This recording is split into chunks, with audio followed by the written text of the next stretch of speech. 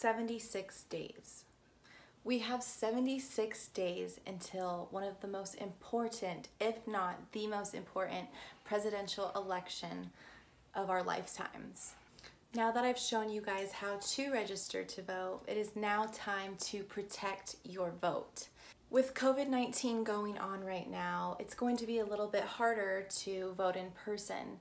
Now you still can vote in person, but you are given an option to vote by mail.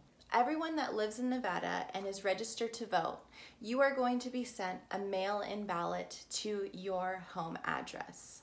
But if you do not live in Nevada, I do not know what your state requirements are for your mail-in ballot. So what you would want to do is call your county's voter registration office and to see what your state requirements are for the mail-in ballot. Now you can also vote in person but since this pandemic is happening, me personally, I'm not trying to be around a lot of people right now, so the mail-in ballot is the way to go. But very, very important, when you get your mail-in ballot, since our president is trying to shut down the United States Postal Service, I do not want to take that risk and mailing back in my mail-in ballot. I'm going to take it to a voter's drop-off station or to the county office. But like I said, you do not want to mail it back in to the mail because we don't know what's going to happen. And I think it is very stressful for us to have so many steps that we need to take to vote but this is probably going to be the most important president election of your lifetime. So take those steps in doing so to protect your vote so that you can use your voice. If you are of age to vote and you have not registered to vote, but you choose not to vote, you really don't have a say in how our country is being run if you are not going to take the time to vote.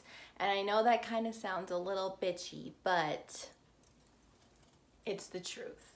If you want to use your voice on what is going on right now in the world, then you need to register to vote. We need to secure the bag. so we need to secure our vote.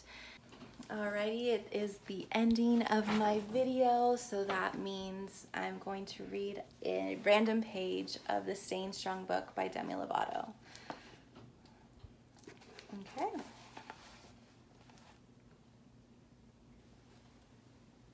What exam, wow.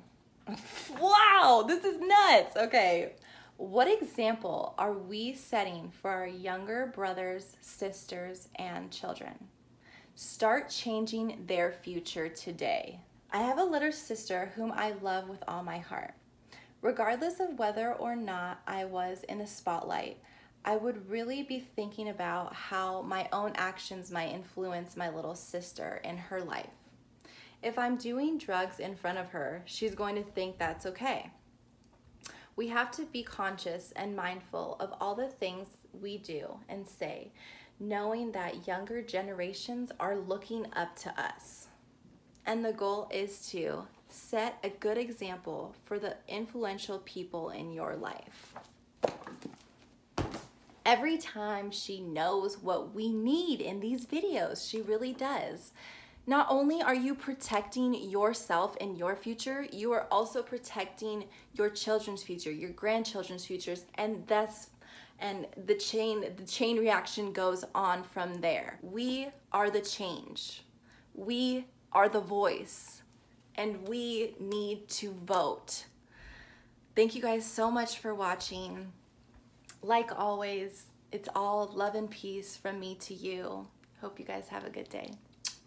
Now, go vote.